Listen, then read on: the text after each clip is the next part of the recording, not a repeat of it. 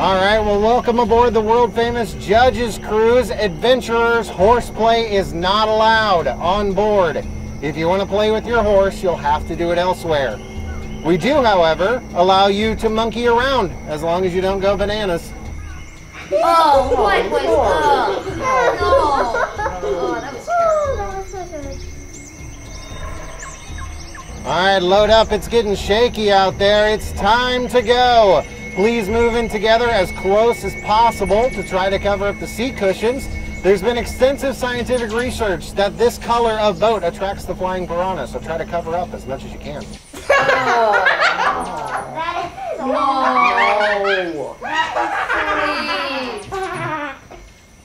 I'm glad you're on board. This is the Leaky Tiki. My name is Jason, and I'll be your captain, cruise director, and dance instructor for the next five exciting days and six romantic nights.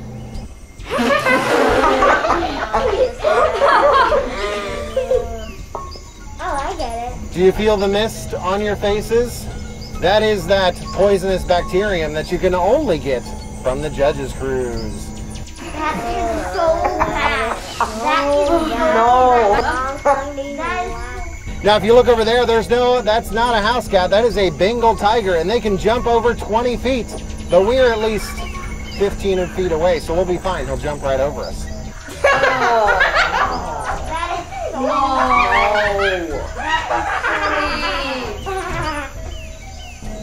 so On the Judges Cruise, you're going to meet the 12 judges listed in the Book of Judges. That is Abdon, Deborah, Elon, Ehud, Gideon, Ibzan, Jer, Jephthah, Othniel, Samson, Shamgar, and Tola.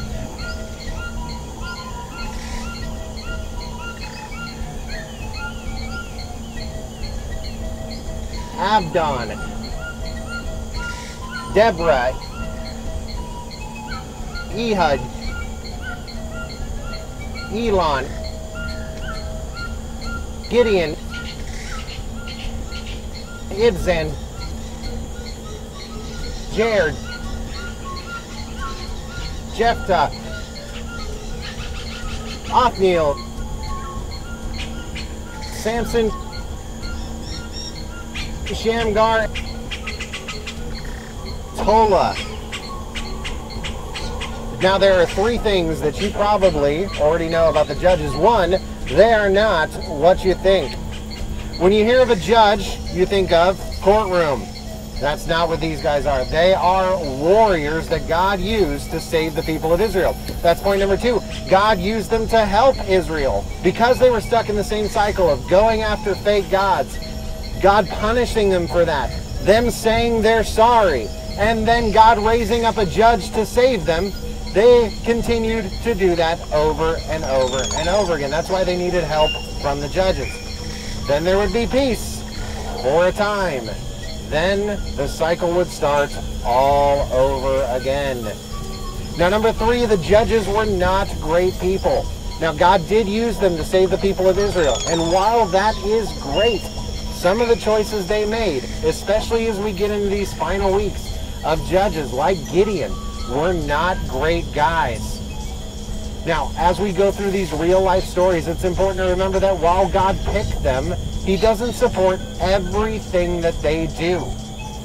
That's important to remember today. Now, as we go through these judges, you'll see that they're getting worse and worse. In fact, the two that we're talking about today are the worst ones in the book of Judges.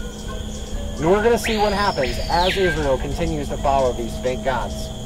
All right, the boat's going to drop anchor here, and it's up to you to visit some of the judges in our judges cruise and get a stamp from Abdon, Deborah, Abdon, Deborah, Ehud, Elon, Gideon, Ibzan, Jer,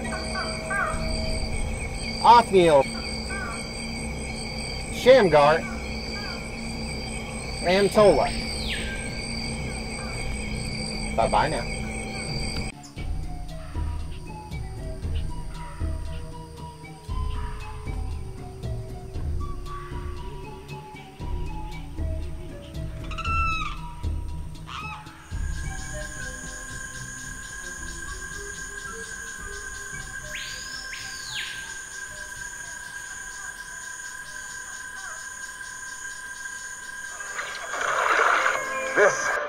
The highlight of the tour. It's my favorite part of the jungle. Ladies and gentlemen, get ready for the eighth wonder of the world. Wait for it. The backside of water. It looks just like the front side. It's completely different. It's the eighth wonder of the world, the backside of water. Guys, get your cameras out. Come on. You don't want to miss this. Snap, snap, snap. Keep snapping. Now, the next two judges are Jephthah and Samson. And as we tell you these stories of these judges, you're going to see familiar statements.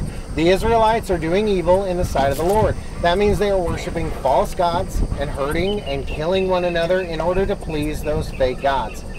Now, please note, these two guys are not good guys, and they do some terrible things today. Jephthah, our next judge, was risen up because the people of Israel did evil in the sight of the Lord. They began to worship many fake gods and didn't worship the one true God at all, which made God angry. So God sent the Philistines and the Ammonites to take over Israel, which they did for 18 years.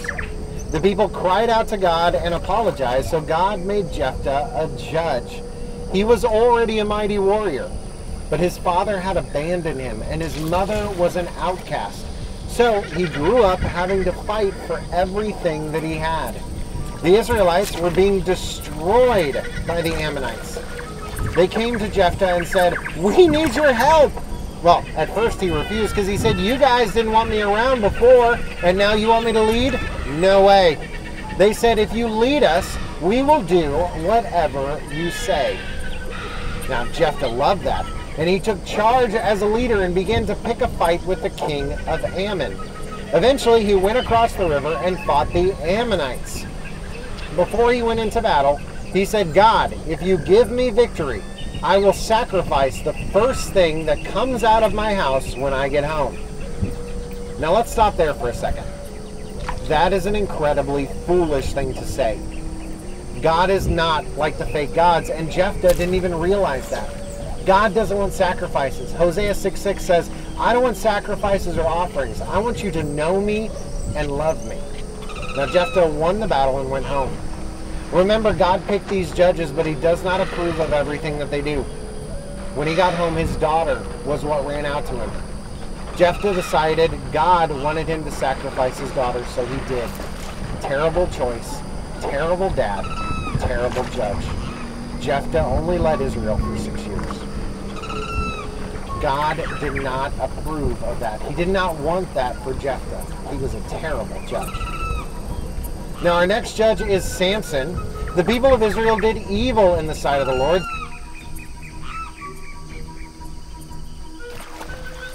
So God sent the Philistines to take them over.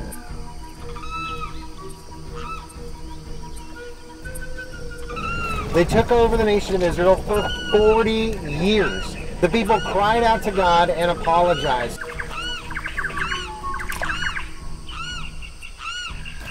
So God raised up Samson as a judge from birth.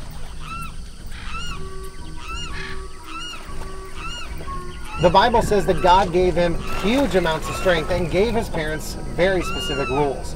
Here are the rules that they were given.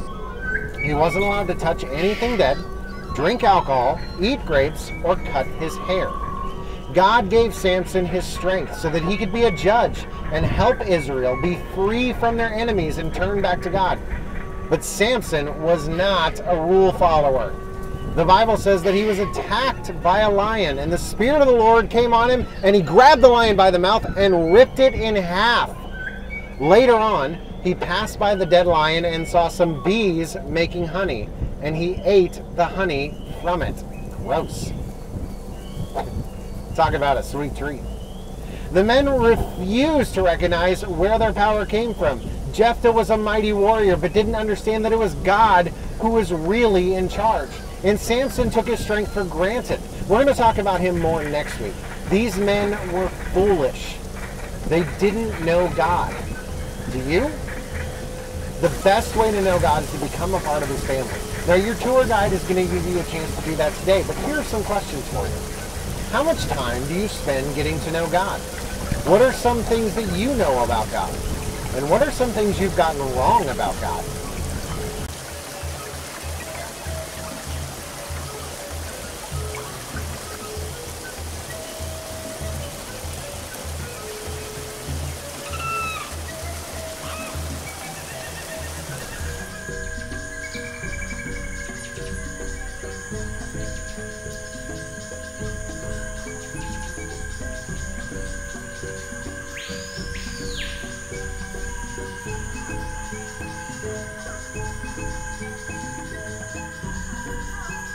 Right, be sure to get your passport stamp for Jephthah and Samson.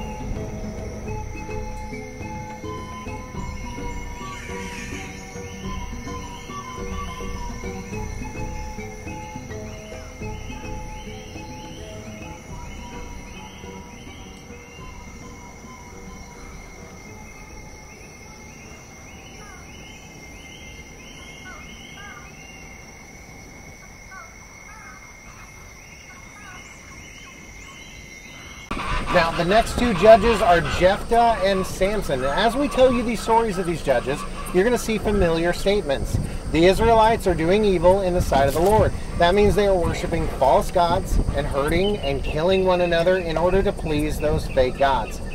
Now, please note, these two guys are not good guys, and they do some terrible things today. Jephthah, our next judge, was risen up because the people of Israel did evil in the sight of the Lord. They began to worship many fake gods and didn't worship the one true God at all, which made God angry. So God sent the Philistines and the Ammonites to take over Israel, which they did for 18 years. The people cried out to God and apologized, so God made Jephthah a judge. He was already a mighty warrior, but his father had abandoned him, and his mother was an outcast. So he grew up having to fight for everything that he had. The Israelites were being destroyed by the Ammonites. They came to Jephthah and said, We need your help. Well, at first he refused because he said, You guys didn't want me around before, and now you want me to lead? No way. They said, If you lead us, we will do whatever you say. Now, Jephthah loved that and he took charge as a leader and began to pick a fight with the king of Ammon. Eventually, he went across the river and fought the Ammonites. Before he went into battle, he said, God, if you give me victory, I will sacrifice the first thing that comes out of my house when I get home. Now, let's stop there for a second. That is an incredibly foolish thing to say. God is not like the fake gods, and Jephthah didn't even realize that. God doesn't want sacrifices. Hosea 6 6 says, I don't want sacrifices or offerings. I want you to know me and love me. Now, Jephthah won the battle and went home. Remember, God picked these judges, but he does not approve of everything that they do. When he got home, his daughter was what ran out to him. Jephthah decided God wanted him to sacrifice his daughter, so he did. Terrible choice, terrible dad, terrible judge. Jephthah only led Israel. God did not approve of that. He did not want that for Jephthah. He was a terrible judge. Now, our next judge is Samson. The people of Israel did evil in the sight of the Lord.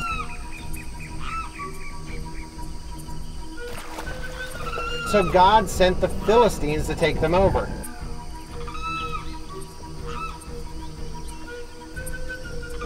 They took over the nation of Israel for 40 years. The people cried out to God and apologized.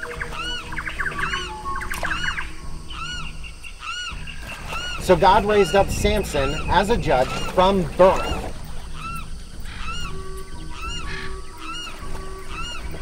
The Bible says that God gave him huge amounts of strength and gave his parents very specific rules. Here are the rules that they were given.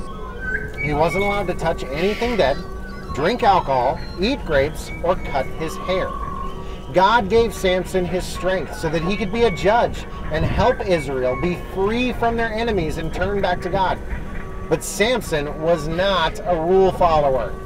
The Bible says that he was attacked by a lion, and the Spirit of the Lord came on him, and he grabbed the lion by the mouth and ripped it in half. Later on, he passed by the dead lion and saw some bees making honey, and he ate the honey from it. Gross. Talk about a sweet treat. The men refused to recognize where their power came from. Jephthah was a mighty warrior, but didn't understand that it was God who was really in charge. And Samson took his strength for granted. We're going to talk about him more next week. These men were foolish. They didn't know God. Do you? The best way to know God is to become a part of his family. Now, your tour guide is going to give you a chance to do that today, but here are some questions for you. How much time do you spend getting to know God? What are some things that you know about God? And what are some things you've gotten wrong about God?